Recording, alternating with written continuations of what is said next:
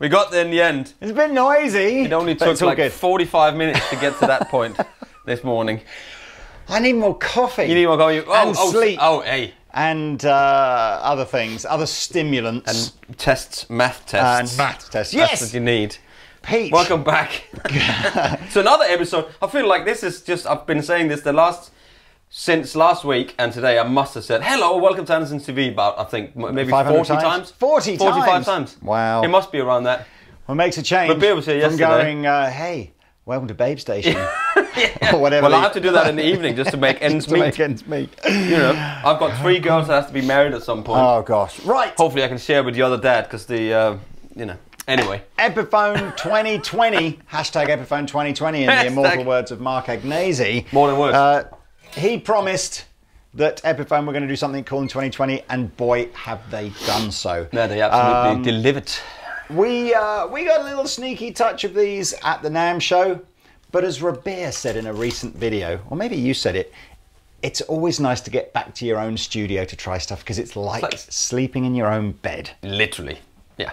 Yes. So, Um, Muse, not just a fantastic British rock band. Yeah, I've never, I uh, never really got into Muse. I must admit. I heard a tune on the. I had a tune on the radio there. I was with with the wife and the kids in the car, and Knights of whatever it's called, Cydonia came on. Somebody and I, else's and wife I and somebody said else's to, kids. I said to Grace, my my eldest, who's who's into a heavy rock music. I said, "This, Grace, is." Like a modern equivalent for me of um, Bohemian Rhapsody. It's got that slow Yeah, build up thing Yeah.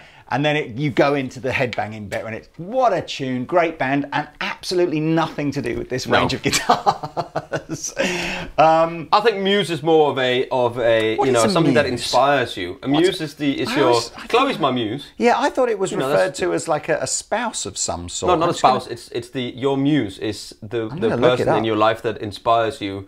Is and it? to to be to be the best you? I think. muse what is the word I think I, mean think it's like a Greek. It's like a. Uh, uh, is it not like a um, a god of here we goddess go of? vocabulary.com says muse is a verb to muse is to consider something thoughtfully as a noun it means person especially a woman who is a source of artistic inspiration Yeah, so you're right I thought it was like I thought it, maybe it was some like a Greek uh, muse You're god or right. In mythology, the Muses were nine goddesses who symbolized the arts and sciences. Today, a muse is a person who serves as an artist's inspiration. Often, filmmakers talk about a certain actor being a muse, meaning the actor inspired a movie. Yeah. I could go on. How amusing. Um, so there we are. So I suppose these uh, guitars are supposed to inspire. Um, I mean, the colors certainly does inspire because these are colors that you've probably never seen on any, any Epiphone before.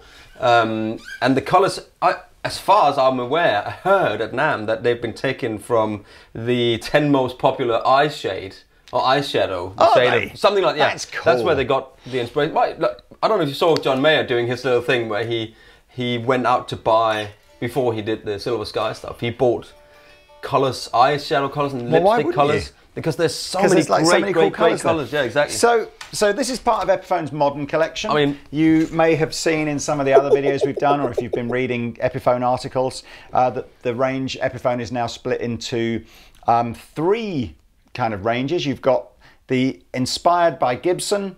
But and within that you've got the modern and the um, original series. so this would be part of that modern, inspired by modern Gibson. Yeah. And then you've got Epiphone original with things like Casino and Sheraton and all the guitars that were never Gibson guitars originally. so like the Um, Sino and the arch tops and the, yeah, there's, there's Texans and all that kind Yeah. of stuff. So look, Muse. Muse fits into the Epiphone range not only by doing these very contemporary colours, but also by making the necks a little smaller. And slightly and narrower by necks. Mm-hmm. Chambering the bodies on the Les Paul so they're a lot lighter. Doing things like a belly cut, which Yeah. you wouldn't normally see on a Les Paul. or a boob cut Or a boob cut, yes. A moob, a man boob. because you can't now you can't Um, differentiate. So you have to, it has to be for both. So yeah, two guitars, Mm-hmm. SG uh, and the Les Paul in the Muse. Uh, lots of different colours, which hopefully will appear on screen Yeah. now. And I'll Many, give you some many. tones, clean tones, for that matter, because there's lots there's lots of switching on here. So in its normal full fat humbucker mode, these are ceramic plus humbuckers, by the way, so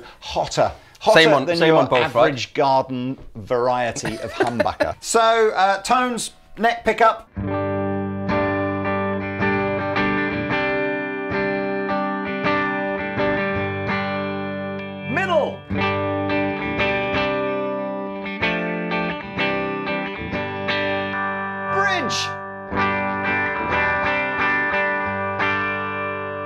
Does it sound like an SG? Probably does sound like an SG, doesn't it? Yeah. Um, we can coil tap. Now, if you're not familiar with that, that means we're making, instead of the uh, pickup having two coils, which is what a humbucker is, maybe on screen now there might be a picture of a humbucker with, uh, without the cover on it.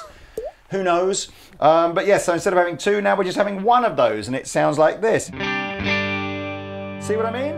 That's with both. That's with one.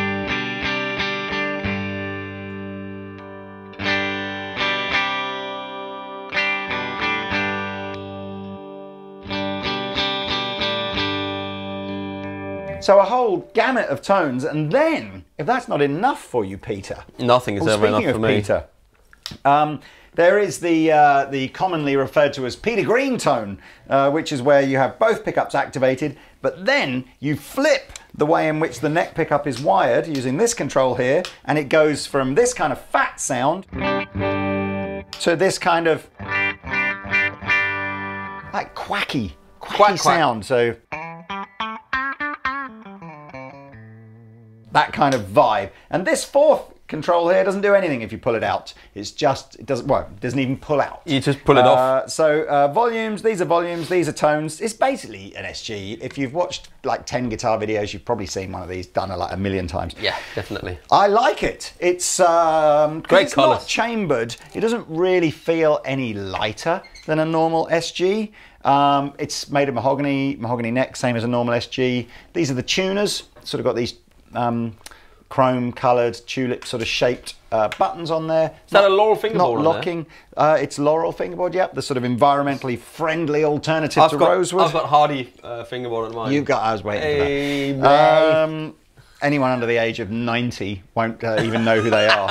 Um, so that's that's the Muse SG, and it retails, I think, for somewhere between three hundred and fifty and four hundred pounds. But Yeah, yes, like links below to the Andertons website where you can find out more um, and see all the colours and get excited. But Mr. yeah, Pete, I don't need to say anything else. This is the this is the Les Paul version in a passion purple or something you call oh, it. passion purple, something like that. Uh, they do the back and uh, neck sort of gloss black, Grover tuners, uh, same pickups, same switching configuration as your one.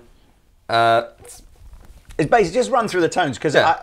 this will be. I mean, Pete's running through a pretty similar amp. We've both got these clean sort of Victory amps. Neither of us using any pedals. okay, so here's some uh, here's some tones.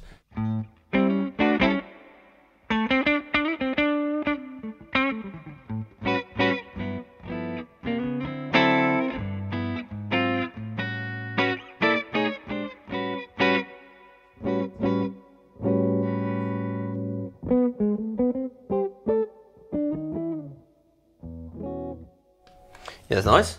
Middle position. That's quite quacky even without the uh, the thingy pull. I can never decide. I, I would say 90% of the time I don't like that sound, but every so think- often somebody pulls it out with something and it's like, I I you, think it sounds cool. You do like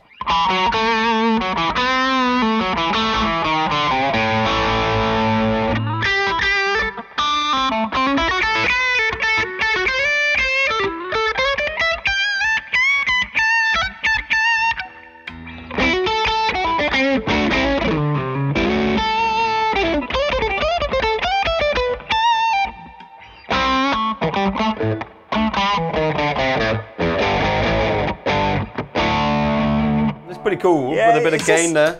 There's no such thing as a bad tone, is there? There's only what you like and what's appropriate and what works. that was the Dane into the revival drive compact there. That's the middle position. And here's the bridge. A bit of gain. Split.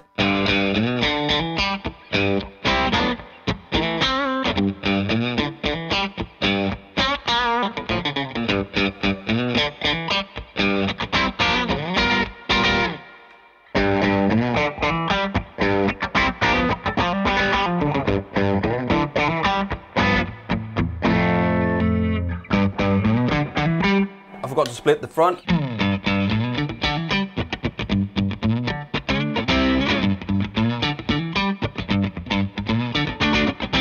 I wouldn't say it sounds like a, a Strat, but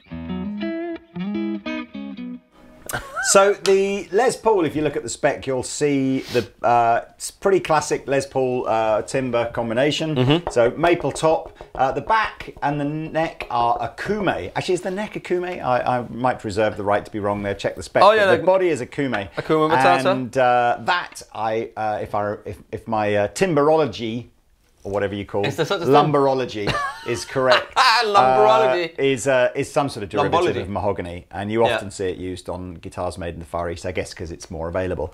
it's cool, man. it's cool. Um, I like them. Belly cut, yeah. So really, I think these guitars are 100% aimed at someone that likes that that Gibson vibe. You know, likes the the shape and the vibe of a Les Paul or an SG, but wants something with a slightly narrower neck. Uh, in the in the with the Les Paul a bit lighter than you traditionally get, and Yeah. of course the, the, the colours. It's it's a statement guitar, isn't it? It's very Yeah, I wouldn't say the neck is really, really super duper slim, but it's right good, right there in the middle where it's supposed to be. But it's definitely narrower. Yeah. It's almost like Music Man. Yeah. That it's just shaved off like, let's say, like two mils or something on on, each, on the side. Pete and I'll jam out now. Flip reverse for you. Uh, Pete's going to play an SG in a beautiful green colour that matches his eyes. Uh, and I will play in this, what is this, like coppery red kind of colour. which matches your eyes. which well. matches my eyes uh, when I first wake up in the morning. Um, Well, thank you very much for watching. Links What do below. you I think these are about Jangly? 400, and 400 plus 29 ish. 400 plus 29? Yeah. Do you know what? That sounds like a maths test to I'm- me. I'm- 400 plus 29 Yeah. is. How much is that? Like, this is the problem. If I asked my daughter that question, she would literally. She'll go- no she'll go blue. Exactly. Um, anyway.